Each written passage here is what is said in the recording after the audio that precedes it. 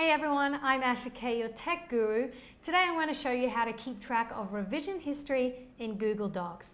One of the great features about Google Docs is that it allows you to keep track of changes that have been made in a document and also revert to older versions of a document. Unlike Microsoft Word where you have to manually save each version, Google Docs does all the hard work for you. Let me show you what I mean. All right, I'm in Google Docs and I've opened up a spreadsheet on my computer. Now I want to keep track of the changes that have been made, so I would go up to File in the top left corner. It opens up a drop-down box and you click on See Revision History.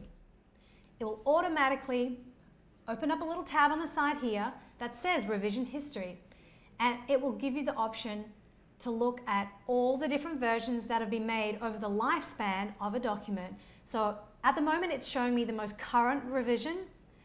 Let me revert back to an even older one.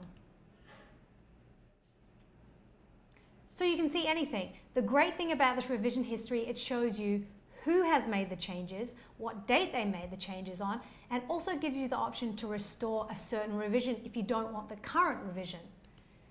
The other feature, if you want to track what changes have been made from version to version, if you see the version that I've opened up right now, it will automatically highlight this so I know what changes have been made throughout the course of a document's life. It's a really great feature that Google Docs offers, revision history. If you want to know anything more about Google Docs, please check out the rest of the videos in our Google Docs playlist. I'm Asha K, and I'll see you next time. If you have a request, send it to requests at mahalo.com.